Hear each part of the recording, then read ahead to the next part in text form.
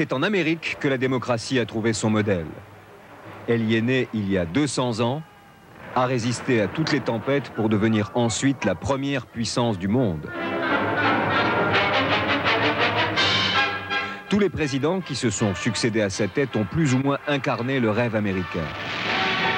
Mais pour comprendre ce rêve, il est nécessaire de remonter au début du siècle et de parcourir une histoire exceptionnelle dont l'inspirateur incontestable fut Franklin Delano Roosevelt. 15 ans plus tard, l'héritage de Roosevelt se retrouve en John Fitzgerald Kennedy.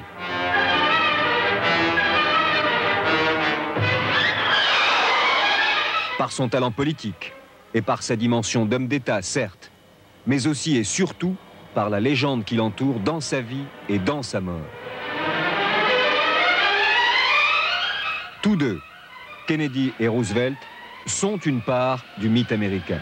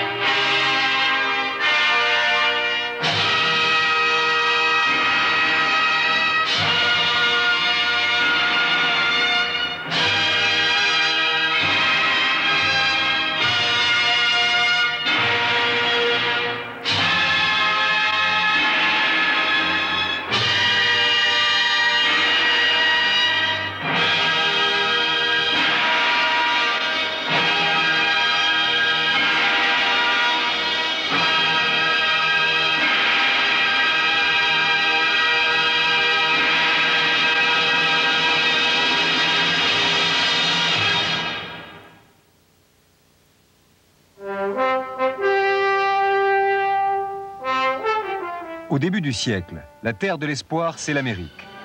Tout est à faire, à construire ou à cultiver. D'immenses espaces sont à conquérir. Ces pionniers d'un monde nouveau sont persuadés qu'ils vont découvrir un paradis. Le rêve américain commence.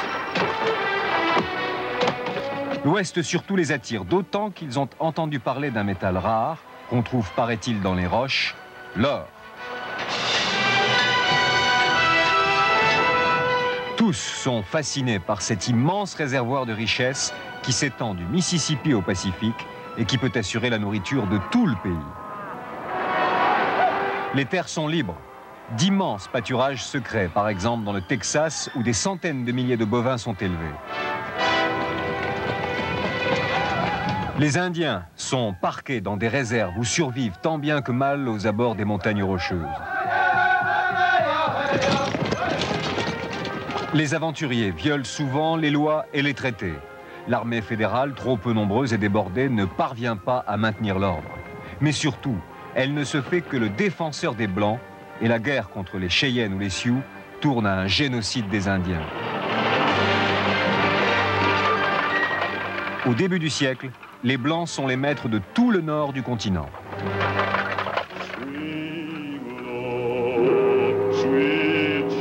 Au sud, après la guerre de sécession, la reconstruction du pays s'est faite au détriment des Noirs. L'esclavage a officiellement disparu. La discrimination lui succède. Séparés mais égaux, affirme Washington, en réalité, il n'en est rien.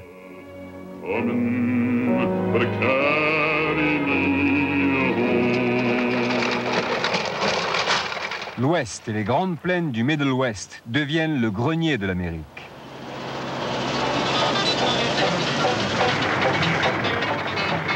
On est déjà loin des méthodes de travail de la vieille Europe. Fini le paysan courbé sur sa terre. Voici la nouvelle race d'agriculteurs, les farmers, qui sont tout à la fois techniciens et hommes d'affaires. Déjà, les États-Unis entrent dans l'ère de l'agribusiness. C'est une fête et la naissance d'une culture populaire.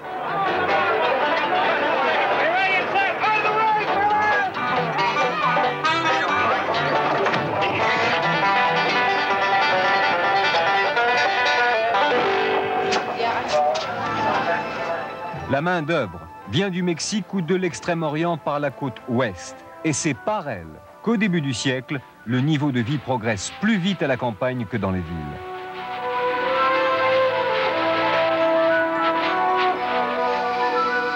Pas pour longtemps. La période de prospérité s'achève pour les fermiers américains. L'heure des villes, de l'industrie et des trusts a sonné. D'abord par le sous-sol, grâce au pétrole jailli en Pennsylvanie et au Texas. Puis au charbon.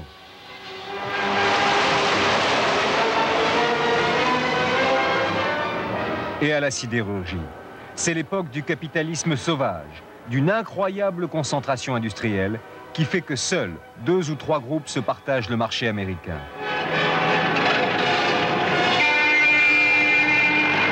Il attire le monde entier et déclenche une énorme vague d'immigration aux États-Unis.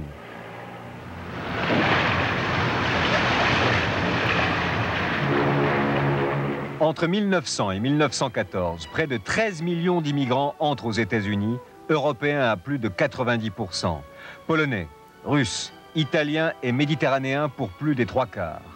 Parmi eux, un grand nombre de juifs chassés par les persécutions dont ils sont victimes.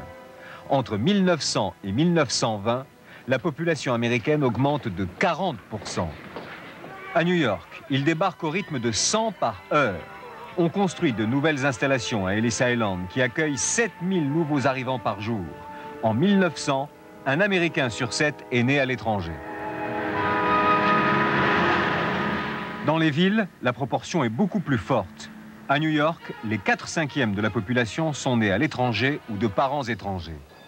Une des conséquences, c'est que le paysage urbain change. La ville s'étend. Des kilomètres de rues et de trottoirs doivent être construits. Grâce à l'électricité, des tramways relient le centre aux nombreuses banlieues. Les embouteillages apparaissent.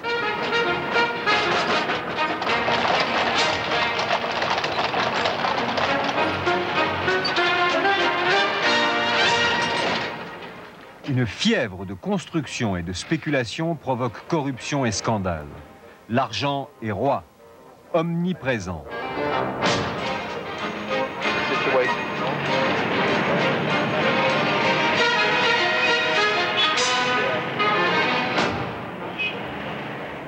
Mais aussi son contraire, la pauvreté pour ceux qui viennent d'arriver ou qui n'ont pas réussi.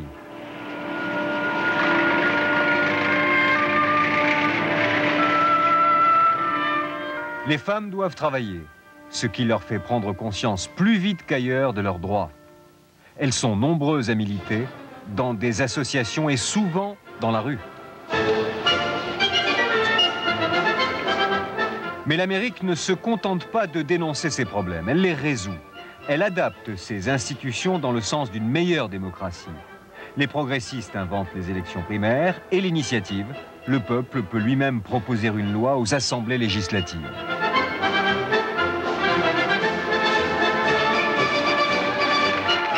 Le mouvement progressiste culmine sous deux présidents. Theodore Roosevelt de 1901 à 1909, champion des droits du citoyen, combattant des trusts, opposé à l'utilisation de l'armée en cas de grève et protecteur de la nature. Woodrow Wilson de 1912 et 1920 qui propose aux Américains une nouvelle liberté, qui institue l'élection des sénateurs au suffrage universel et fera accorder le droit de vote aux femmes. Mais le nom de Wilson est surtout attaché à la politique étrangère.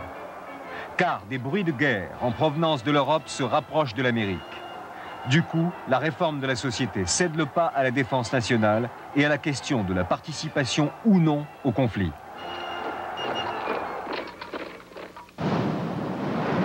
Au début de la Grande Guerre, l'Amérique est neutre, mais elle ne peut accepter la domination allemande sur mer, particulièrement dans l'Atlantique. Des navires américains sont coulés. Plus rien n'arrête alors la marche vers l'entrée en guerre.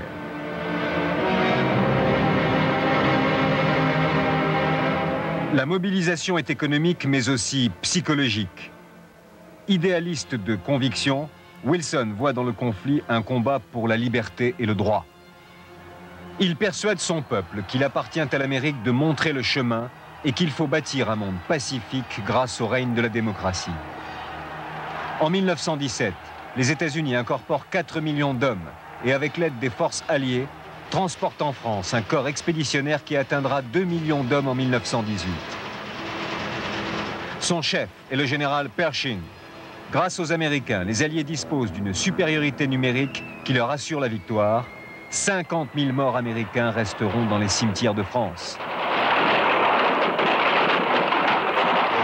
Partisan d'une paix établie sur des bases morales, Wilson propose un programme en 14 points. Il vient en personne négocier les traités de paix. Accueilli en héros, il débarque en Europe en décembre 1918 et jouera un rôle déterminant lors de la conférence de la paix en 1919 à Versailles. Mais il sera désavoué par le Congrès qui refusera de ratifier et le traité de paix et l'entrée des États-Unis dans la SDN dont il était le promoteur.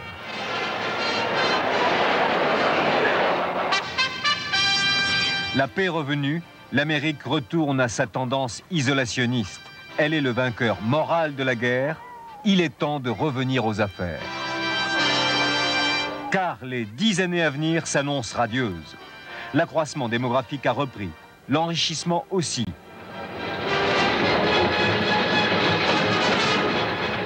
Le produit national brut va progresser de près d'un tiers en dix ans. Le progrès industriel est symbolisé par le développement foudroyant de l'automobile, particulièrement à Détroit, chez Henry Ford. 4000 véhicules produits en 1900. 1,5 million en 1921. En 1929, on approchera les 5 millions de véhicules Ford.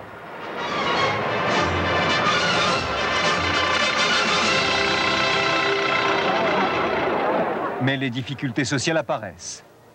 Les grèves, souvent violentes, se multiplient. Pour la seule année 1919, on en compte 2665 qui touchent 4 millions de salariés. Depuis que la révolution bolchevique a eu lieu, nombreux sont ceux en Amérique qui voient des rouges partout. La xénophobie s'installe et c'est dans cette atmosphère que sont arrêtés deux ouvriers italiens Sacco et Vanzetti, accusés d'avoir assassiné deux transporteurs de fonds. Condamnés à mort en 1921, ils seront électrocutés six ans plus tard, en 1927, malgré les protestations dans le monde entier. Le climat de haine est à son paroxysme. C'est l'époque du Ku Klux Klan, société secrète née dans le sud des États-Unis pour entraver par tous les moyens l'exercice des droits des Noirs. Ultra-réactionnaire, antisémite, hostile à l'intégration raciale. Elle regroupe jusqu'à 4 millions de membres en 1925 et organisera la même année un défilé monstre dans le centre de Washington. On est en plein renouveau du conservatisme.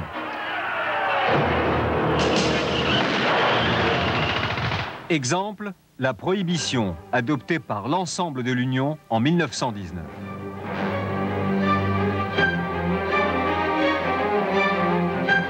La bonne marche de l'industrie, dit-on couramment, exige des travailleurs sobres. Et la victoire de 1918 est même attribuée par certains à l'abstinence.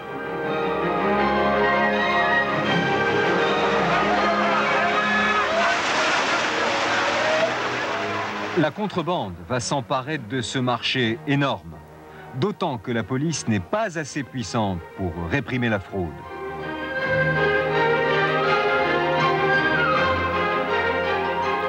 Parfois, elle est même complice malgré les incorruptibles du FBI. Des gangs se forment, avec à leur tête des chefs prêts à tout. Al Capone, qui règne sur Chicago, est le plus célèbre.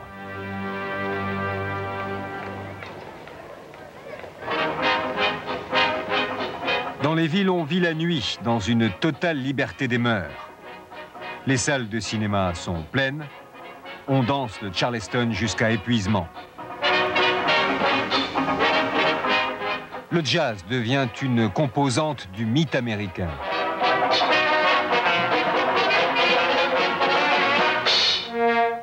L'urbanisation est poussée à son maximum. Les gratte-ciels se multiplient. En quelques semaines, le visage des villes se modifie. Il y a désormais plus d'Américains dans les villes que dans les campagnes.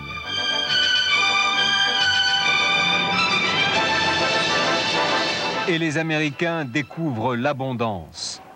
Les classes moyennes accèdent sans cesse à de nouveaux produits qui font rêver le reste du monde. C'est dans l'euphorie des années 20 que les États-Unis vivent avec 40 ans d'avance, ce que l'Europe occidentale ne connaîtra que dans les années 60. Les Américains sont persuadés que l'accès à la richesse est à la portée de tous. Il est vrai que quelques milliardaires font rêver l'opinion publique. Henry Ford, roi de l'automobile. Rockefeller, roi du pétrole.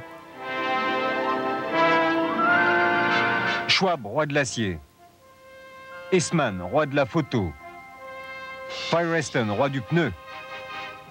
Edison, roi de l'électricité. Lorsqu'en 1928, le président Hoover est élu, il affirme « Je n'ai aucune crainte sur l'avenir de notre pays ». Ce qu'il ne sait pas, c'est que l'économie est en plein sur-régime. Personne en Amérique ne voit venir le désastre. Le crack inévitable se produit en octobre 1929, le jeudi 24, surnommé Jeudi Noir. L'indice s'effondre brutalement. Les prix sont en chute libre. En quelques minutes, des millions d'épargnants perdent les économies de toute une vie. La tornade n'épargne rien, ni les entreprises, ni les banques qui ferment par milliers. La spirale de la dépression durera jusqu'en 1933 et pèsera de façon dramatique sur tout ce qui se passera dans le monde dans les 20 années suivantes. Le krach de 1929 résulte d'une spéculation boursière effrénée. Les premiers touchés sont les exclus de la croissance. Dans les régions agricoles, les fermiers doivent tout vendre pour rembourser les emprunts. Personne, pas même les enfants, n'est épargné par la faim. La misère des ouvriers est dramatique. En 1932, on compte 12 millions de chômeurs aux États-Unis, soit un quart de la population active. En trois ans, le revenu national diminue de moitié. La misère et le désespoir envahissent tout le pays. On vit des dons des organisations charitables. 85 000 repas gratuits sont servis par jour à New York pendant l'hiver 30-31. Franklin Delano Roosevelt, N'ayant rien compris à la plus grande crise économique du monde moderne, Hoover subit une défaite écrasante aux élections de novembre 1932, battu par le démocrate Franklin Roosevelt, élu sur un slogan qui entre dans l'histoire, le New Deal, c'est-à-dire la nouvelle donne. Personnalité rayonnante, marié à une cousine éloignée, Franklin Roosevelt a été frappé dix ans plus tôt par la poliomyélite. Paralysé des deux jambes, il manifeste une indomptable énergie et un optimisme à toute épreuve qu'il transmettra à son peuple. Guidé par son pragmatisme, Roosevelt applique immédiatement ses deux idées maîtresses. Soulager en priorité ce qu'il appelle l'homme oublié du bas de la pyramide sociale et mettre en place une plus équitable répartition de la richesse nationale.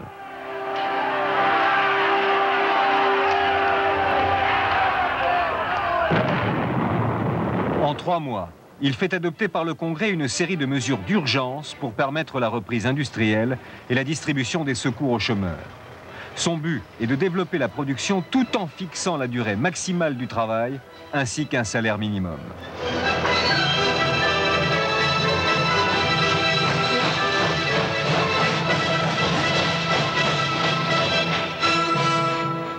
Dans le domaine financier, il fait rouvrir les trois quarts des banques qui avaient été fermées afin d'empêcher les fuites de capitaux.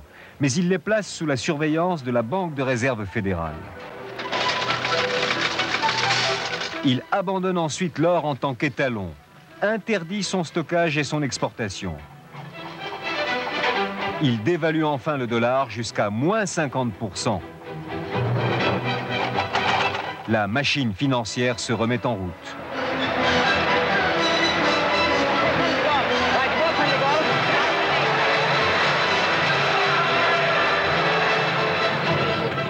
Dans le domaine agricole, il demande au Congrès de mettre en vigueur la loi fédérale de secours d'urgence, qui instaure une politique agricole nationale, et une autre loi d'urgence qui permet aux paysans de renflouer leur exploitation.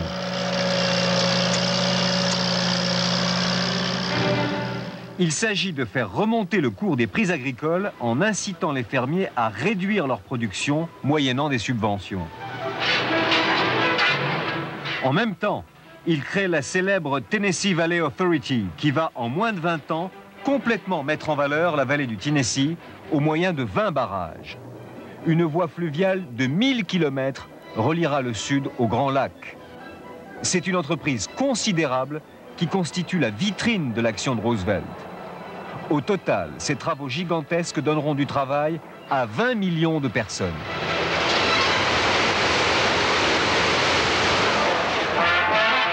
Un domaine de la vie économique qui n'ait été touché par le New Deal. C'est également à Roosevelt que l'on doit, dès 1933, la levée de la prohibition qui s'était révélée un échec complet après 13 ans d'expérience. Elle avait en effet obtenu des résultats contraires au but recherché. Les bars avaient disparu au profit de débits clandestins. La criminalité n'avait cessé de progresser. Et l'argent, au lieu d'aller dans les caisses du trésor, se retrouvait dans les poches des trafiquants. Du coup, avec la levée de la prohibition, les gangs doivent rechercher de nouvelles sources de profit et se tournent, entre autres, vers les jeux et les tripots.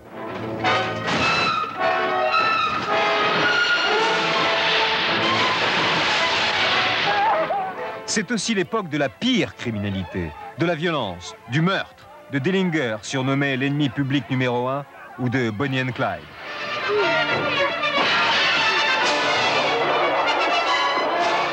Mais malgré les mesures prises dans le cadre du New Deal, Roosevelt n'aura pas totalement abouti dans sa lutte contre le chômage.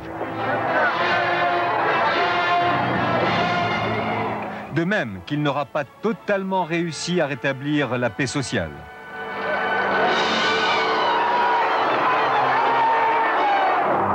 De quatre ans après sa prise du pouvoir, patronat et ouvriers se livrent encore à des affrontements violents. Des grèves dures, réprimées, tournant parfois à l'émeute, éclatent en 1937 dans plusieurs points du pays.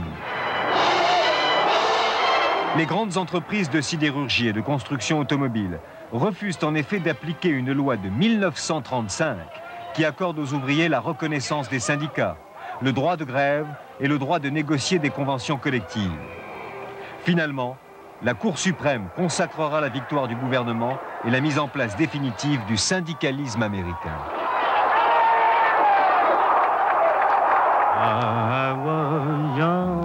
Les Noirs, eux, continuent à vivre en exclus. Minoritaires dans le pays, ils ne font parler d'eux que lors des flambées de violences raciales.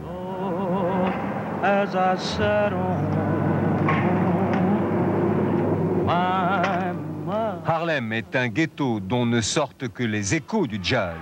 Mais un prédicateur fait déjà parler de lui, Father Divine, un des premiers rassembleurs mystiques et politiques de la communauté. Le Sud, où vivent 80% des Noirs, constitue, selon le président lui-même, le problème économique numéro un.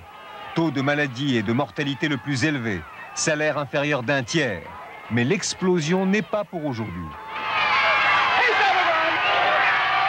Lorsqu'en 1936, Franklin Roosevelt se présente à nouveau devant les électeurs américains, il peut se prévaloir d'un bilan exceptionnel. Il a entrepris le redressement de l'Amérique.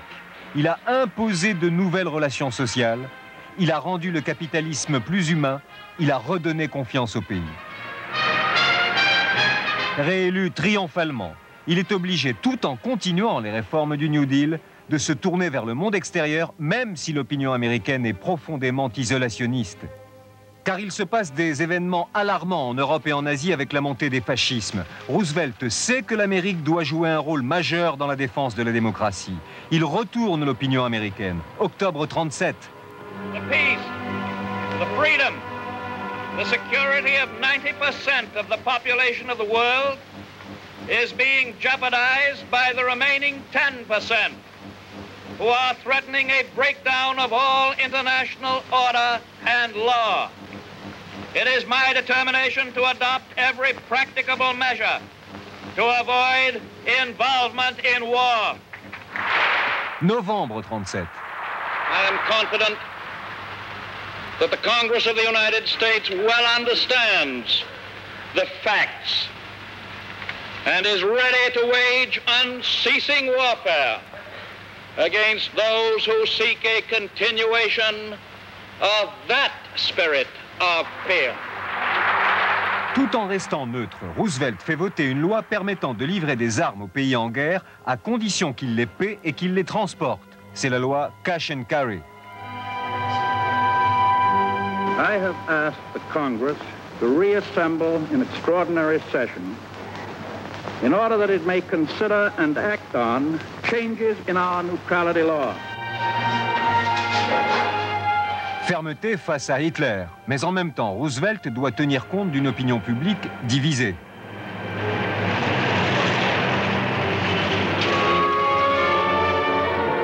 De nombreux comités se mobilisent pour soutenir l'Europe. Mais même l'Amérique n'est pas épargnée par la propagande nazie, qui ne concerne cependant que quelques groupuscules.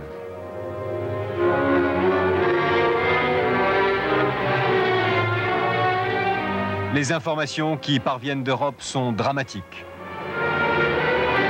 This nation will remain a neutral nation. But I cannot ask that every American remain neutral in thought as well. Even a neutral has a right to take account of facts. Even a neutral cannot be asked to close his mind or to close his conscience.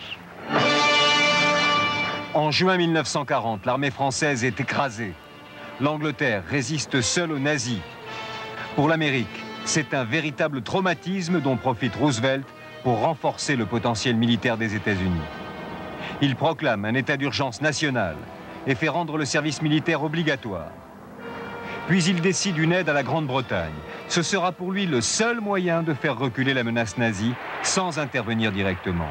Novembre 1940, pour la première fois dans l'histoire des États-Unis, un président est élu trois fois de suite. Le monde libre est en train de jouer son destin.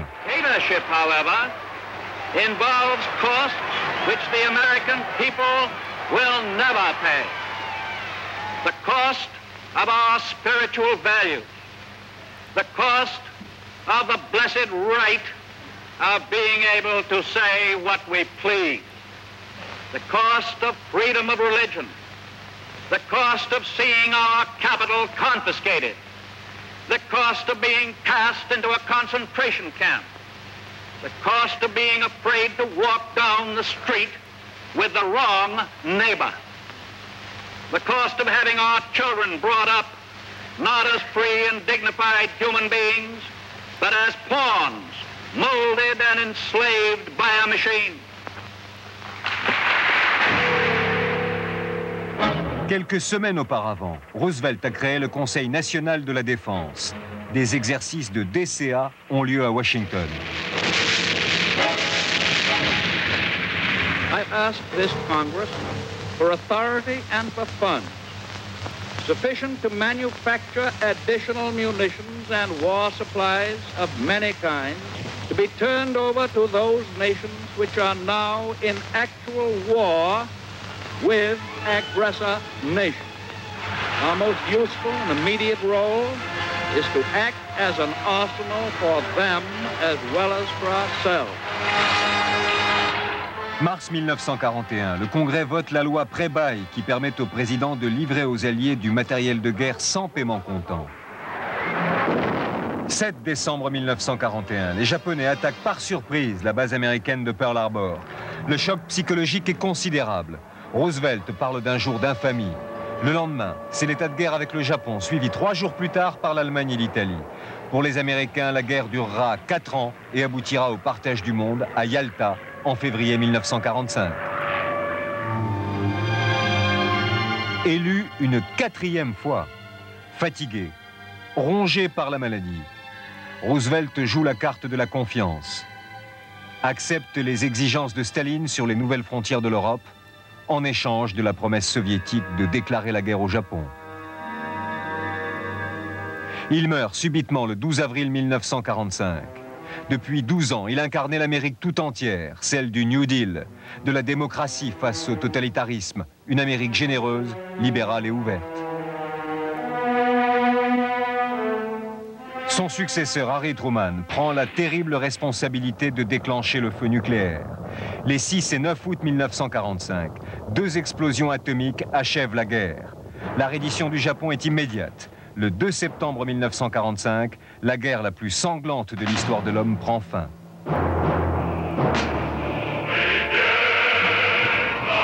De ce conflit sortent deux superpuissances, la Russie et l'Amérique, alliées militaires jusqu'à la victoire, mais représentant deux systèmes totalement opposés.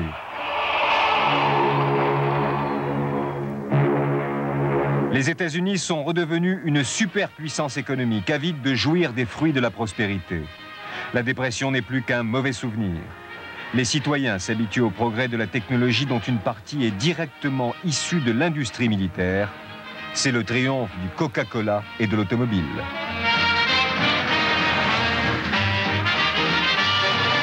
La démocratie a gagné la guerre.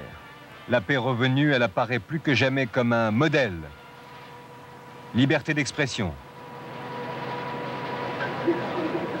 Tolérance. Diversité des cultures. Ferveur et respect des cultes. Truman, jusque-là modeste vice-président, fera-t-il aussi bien que Roosevelt à qui il succède soudainement? Rien ni personne ne l'a préparé à sa fonction et les premiers dossiers sont urgents. Celui de l'ONU d'abord, créé en 1945 et qui siège à New York. Truman veut en faire un forum pour la paix. Les Nations Unies serviront surtout de décor aux tensions Est-Ouest que l'histoire retiendra sous le nom de guerre froide. Pour Truman, le communisme est une menace pour le monde, né de la pauvreté. Il faut donc l'endiguer en luttant contre cette pauvreté, surtout en Europe dévastée par la guerre. Le plan Marshall se met en route 14 milliards de dollars seront consacrés à l'aide européenne. En juin 1948, les soviétiques déclenchent le blocus de Berlin.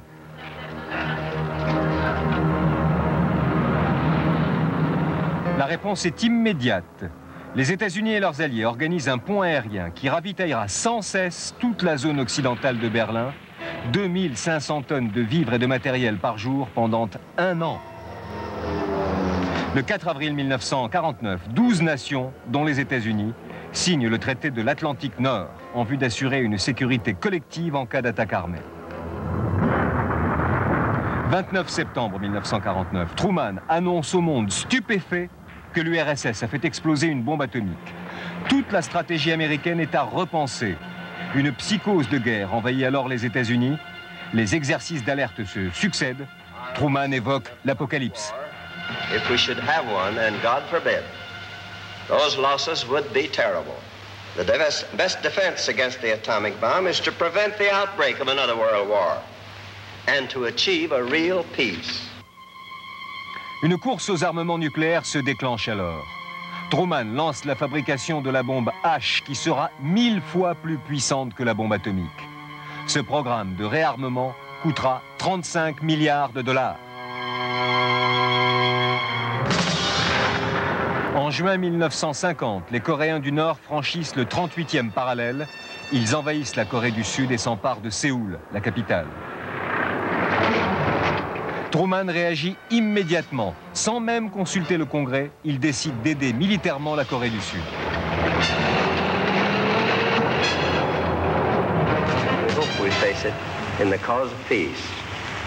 The only reason for the action which was taken on advice of all the brains that I could muster was hoping, always hoping, that we'll finally arrive at the peace in the world which we anticipated when we uh, created the United Nations. That's, that's the only reason.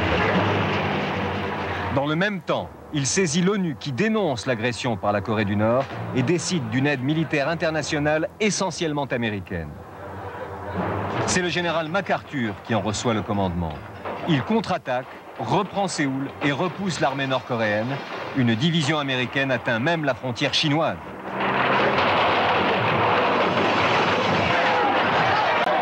Quelques jours plus tard, les Chinois décident d'intervenir et jettent dans la bataille 200 000 hommes. Toutes les solutions, y compris celle d'utiliser l'arme atomique, sont alors envisagées. Mais le risque d'une troisième guerre mondiale est écarté par Truman. MacArthur, lui, préconise de porter la guerre sur le territoire de la Chine. La divergence entre les deux hommes s'aggrave, d'autant que Truman se déclare prêt à entamer des pourparlers de paix. Pendant ce temps, la guerre se prolonge et s'enlise. L'opinion publique américaine rejette cette guerre lointaine qu'elle appelle la guerre de Truman. Elle le manifeste dans la rue.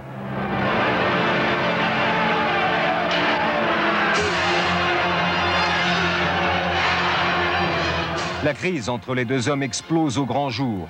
Truman est obligé d'aller sur place et décide finalement, à la surprise générale, de limoger MacArthur. I have therefore considered it essential to relieve General MacArthur so that there would be no doubt or confusion as to the real purpose and aim of our policy. It was with the deepest personal regret that I found myself compelled to take this action. General MacArthur is one of our greatest military commanders. But the cause of world peace is much more important than any individual. Le vainqueur du Pacifique, le proconsul du Japon, le général qui a défié le pouvoir politique, reçoit à son retour un accueil triomphal, mais doit s'expliquer devant le Sénat. Car la guerre froide imprègne très fortement la société américaine et marquera le deuxième mandat de Truman. La peur des communistes est générale et quotidienne. Elle s'alimente de plusieurs affaires d'espionnage comme l'affaire Fuchs ou l'affaire Hiss, un diplomate qui accompagnait Roosevelt à Yalta et qui sera condamné à 5 ans de prison. La Chambre des représentants a créé un comité des activités non américaines. Mais c'est le procès du couple Rosenberg qui aura le plus grand retentissement. Ils sont accusés d'avoir livré aux soviétiques des documents relatifs au secret atomique. Ils nieront tous les deux ils seront électrocutés le 21 mai 1951. On est en pleine chasse aux sorcières. Le grand prêtre en est Joseph McCarthy, obscur sénateur républicain, qui prêchera une croisade contre ce qu'il appelle l'infiltration communiste. Sans preuve, McCarthy affirme que le département d'État, tous les rouages de l'administration et même l'armée sont contaminés. La vague d'hystérie aura touché tous les milieux, y compris les arts et les spectacles. Êtes-vous? Ou avez-vous jamais été membre du Parti communiste? J'estime avoir le droit d'être mis au courant de toute preuve confirmant cette question. Je voudrais voir ce dont vous disposez.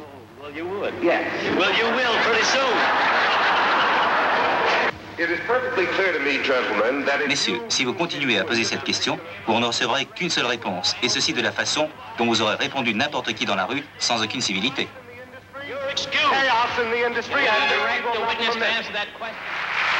Hollywood en sera la cible, tout comme le chanteur Paul Robson ou Charlie Chaplin qui choisit de s'exiler.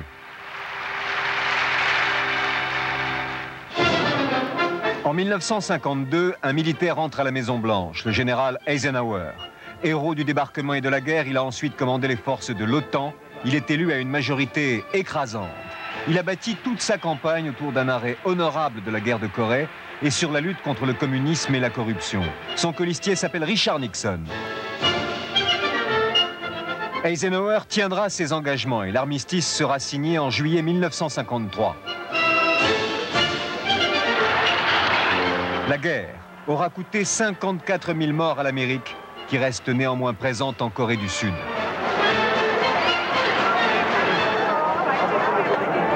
En politique intérieure, le premier mandat d'Eisenhower est marqué par une remise en ordre dans les syndicats, devenus des féodalités toutes puissantes, capables de paralyser la nation.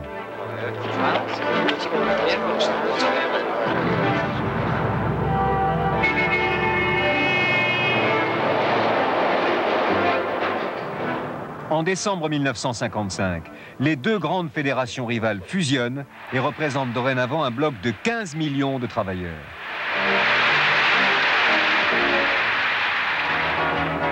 Dans le domaine économique, la croissance américaine se poursuit. C'est le triomphe de l'actionnariat populaire et des classes moyennes. Le rock and roll fait fureur grâce à un chanteur qui deviendra célèbre, Elvis Presley.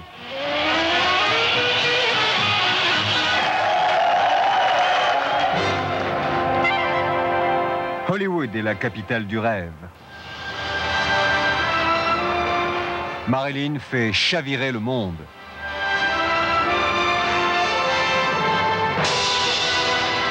Les Oscars célèbrent les grandes stars. Humphrey Bogart, Grace Kelly, Marlon Brando et Bette Davis. 1956, réélection d'Eisenhower. Son deuxième mandat est marqué par la lutte contre la ségrégation raciale.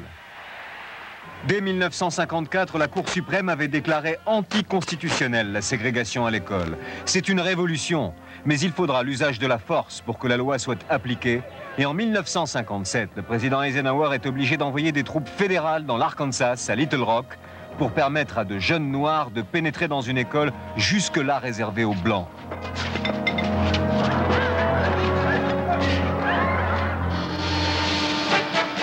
Dans le domaine international, Eisenhower décide d'une réduction des dépenses de défense nationale avec une priorité donnée au nucléaire sur le conventionnel.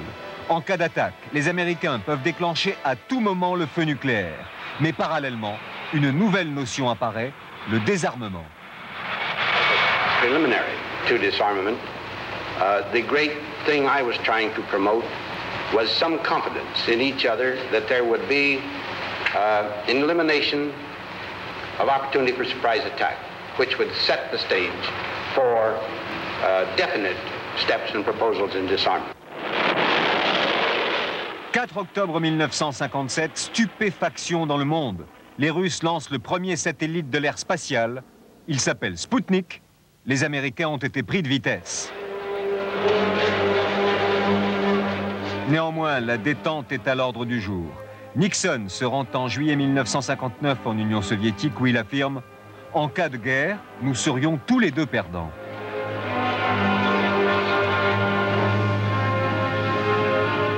Deux mois plus tard, Khrouchtchev est invité aux États-Unis.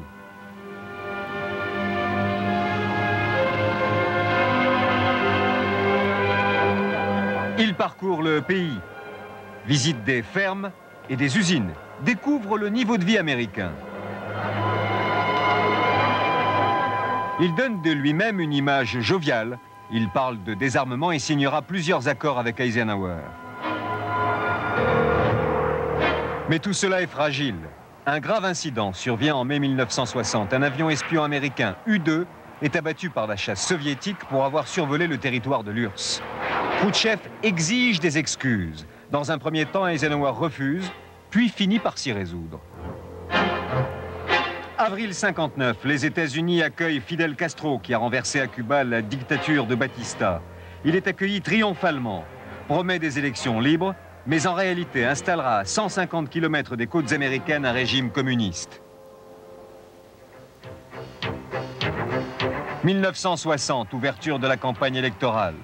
Côté républicain, c'est Richard Nixon, vice-président, soutenu par un Eisenhower en fin de carrière, qui reprend le flambeau. Issu d'un milieu modeste, ancien avocat, conservateur, il est en tête dans les sondages et convaincu qu'il va l'emporter. En face de lui, côté démocrate, John Fitzgerald Kennedy, à peine 43 ans, deuxième enfant d'une famille de neuf, irlandais d'origine, catholique, richissime, héros de la guerre du Pacifique, promis aux plus hautes responsabilités. Il a épousé Jacqueline Bouvier. Il a mis sur pied une formidable machine électorale qui lui a permis de franchir toutes les étapes des élections primaires. Il centre sa campagne sur le thème du mouvement. Ses slogans L'Amérique s'est endormie, elle est distancée par l'URSS, elle est menacée par Cuba, elle s'essouffle économiquement. Il étonne en choisissant Lyndon Johnson comme colistier. Sommet de la campagne, un débat télévisé dont il sort vainqueur. L'élection a lieu le 8 novembre 1960. Kennedy est élu d'extrême justesse. C'est le plus jeune président des États-Unis, le premier à être né au XXe siècle.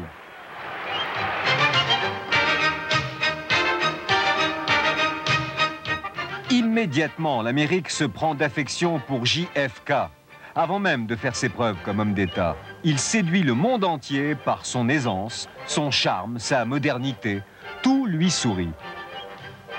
Il devient avec sa femme et ses jeunes enfants une star dont les médias vont s'emparer. La légende Kennedy est en train de naître.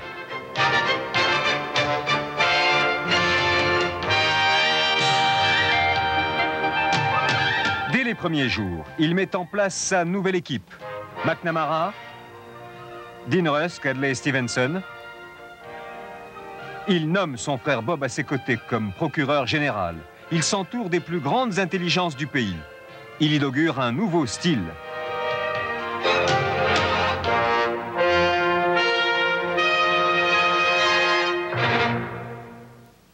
Le 20 janvier 1961, jour de son investiture, il fait interpréter l'hymne américain par une chanteuse noire.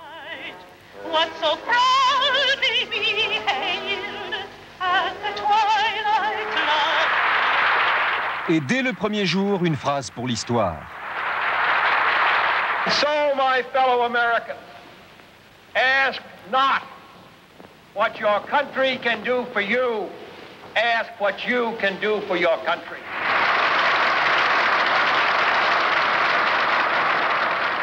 Politiquement, il devra manœuvrer avec habileté pour faire voter par le Congrès, à majorité républicaine, un programme social progressiste. La nouvelle frontière se met en place.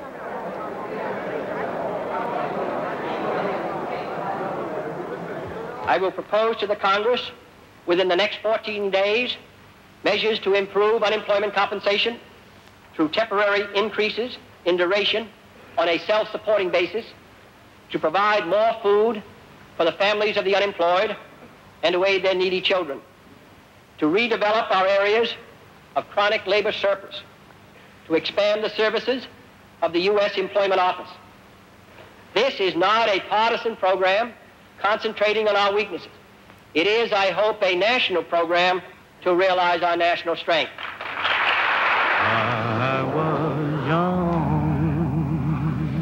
Question urgente. Les Noirs qui ne peuvent toujours pas dans les villes et dans certains États du Sud exercer leurs droits civiques. Une contestation noire violente, parfois extrémiste, s'est faite jour.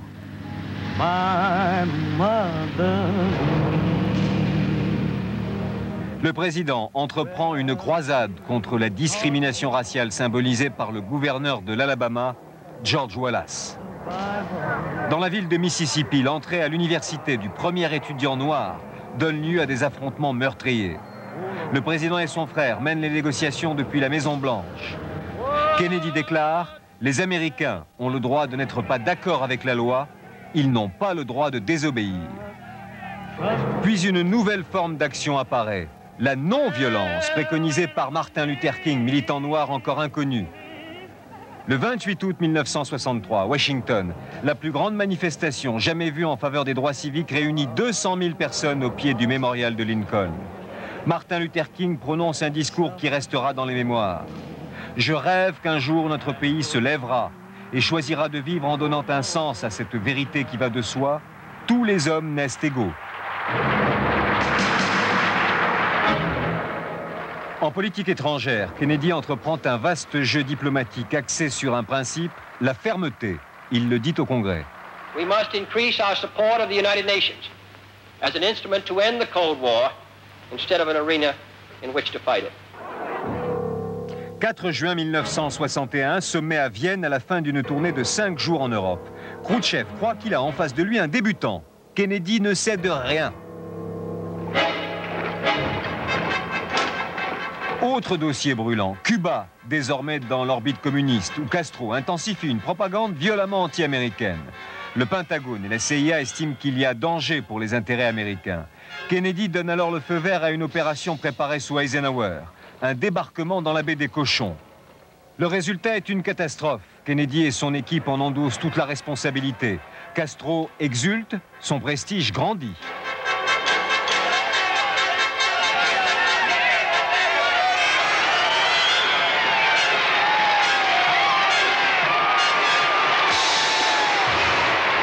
Il s'affiche avec Khrouchtchev, c'est l'euphorie, jusqu'à ce que surgisse la crise des fusées.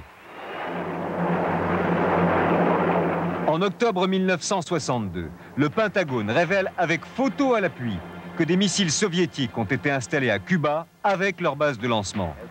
Kennedy dénonce à la télévision une très grave menace pour le continent américain. Il prend deux mesures. Tous les navires se rendant à Cuba seront contrôlés par la marine américaine et mis en quarantaine de Cuba. Mais des navires soviétiques approchent des côtes cubaines. L'URSS et Cuba réagissent immédiatement en saisissant l'ONU et en annonçant la mise en état d'alerte de leurs forces. À Cuba, les missiles seront opérationnels dans quelques jours. La tension est à son comble. Kennedy est inébranlable. Il exige le démontage des fusées. Le risque d'un affrontement nucléaire est majeur. Le sort du monde se joue dans le bureau de Kennedy. La Troisième Guerre mondiale est peut-être imminente. Si Khrouchtchev ne cède pas, Kennedy déclenchera les hostilités. Le dimanche 28 octobre au matin, Khrouchtchev cède. Les armes seront démontées, les bateaux font demi-tour, les avions rentrent à leur base, on a frôlé une tragédie mondiale. Kennedy respire, il a remporté une énorme victoire. Il peut retrouver ses enfants après 13 jours d'une tension extrême. Khrouchtchev, lui, a préservé Cuba de l'invasion américaine. Kennedy prend conscience très vite de l'importance de la course à l'espace pour les États-Unis. Nous sommes en retard, dit-il après le tour de la Terre par le soviétique Gagarin. En mai 1961, il promet qu'un Américain ira sur la Lune avant la fin de la décennie et en reviendra sain et sauf. Dans le domaine militaire, il fait évoluer la doctrine défensive américaine. Du principe des représailles massives, il passe à celui de la riposte graduée il ne menace plus les soviétiques de mettre l'intégralité de la puissance nucléaire dans la balance. Mais parallèlement, il se lance dans un programme d'armement d'une ampleur considérable et devra convaincre son opinion publique, le Congrès et Moscou que cette stratégie de renforcement n'est pas incompatible avec des initiatives de désarmement. In view of the Soviet action, it will be the policy of the United States to proceed in developing nuclear weapons to maintain this superior capability for the defense of the free world against any aggressor. L'autre point chaud de la tension Est-Ouest, c'est Berlin. Kennedy n'a pas pu empêcher les Soviétiques et les Allemands de l'Est d'y construire en août 1961 un mur qui a coupé la ville en deux et stoppé l'hémorragie de l'Exode. Mais Kennedy veut faire savoir aux Soviétiques que Berlin représente un engagement américain irrévocable. En juin 1963, il décide de s'y rendre pour soutenir non seulement les habitants de Berlin-Ouest, mais aussi le système que la ville représente dans son isolement en Allemagne communiste.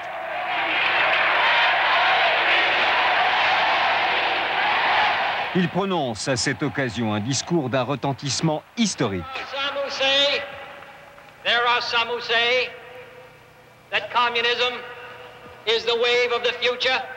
Let them come to Berlin.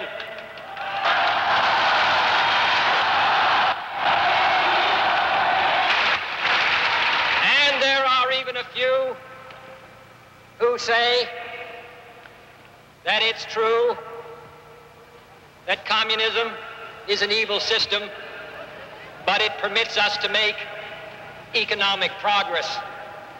Lass sie nach Berlin in common. Let them come.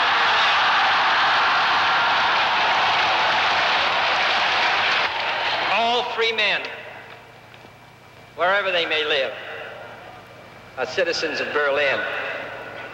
And therefore, as a free man, I take pride in the words, Ich bin ein Berliner.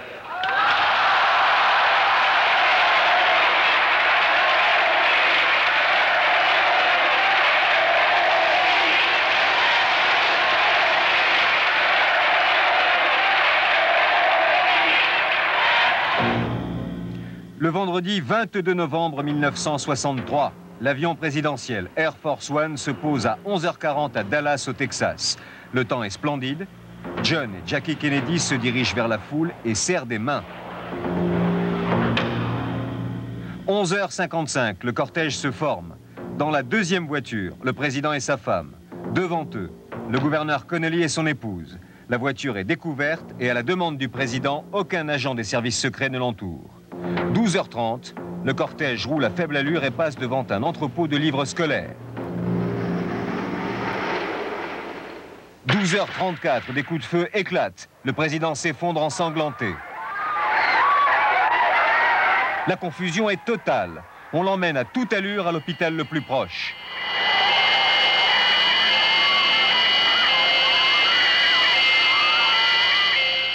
À 13h, les chirurgiens le déclarent mort. C'est la troisième fois qu'un président des États-Unis est assassiné. La nouvelle frappe l'Amérique de détresse et plonge le monde dans la stupeur.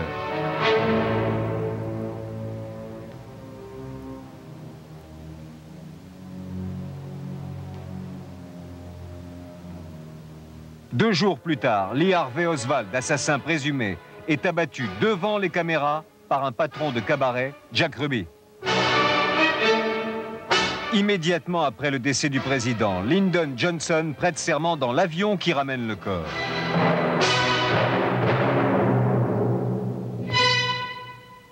Dès son arrivée à Washington, le cercueil est emmené et déposé à la Maison-Blanche. L'ONU rend un hommage unanime à la mémoire de Kennedy.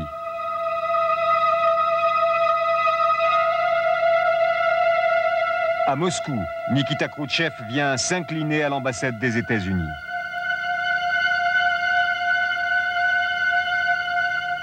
Dimanche 24 novembre, le cercueil est transporté à la cathédrale Saint-Matthews sur la même prolonge d'artillerie que celle qui avait transporté le corps de Franklin Roosevelt.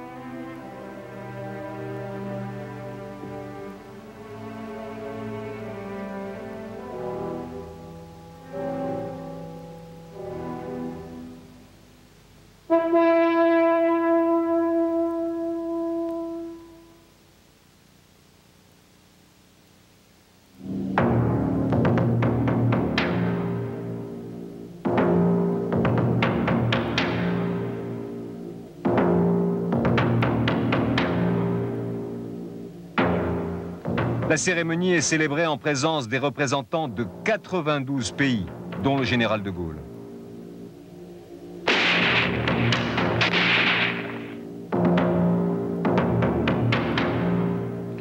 Les restes du 35e président des États-Unis sont ensuite transportés au cimetière d'Arlington où reposent officiers et soldats tombés au combat. La mort de Kennedy, sur laquelle la lumière n'a jamais été faite, restera un des grands mystères de l'histoire contemporaine.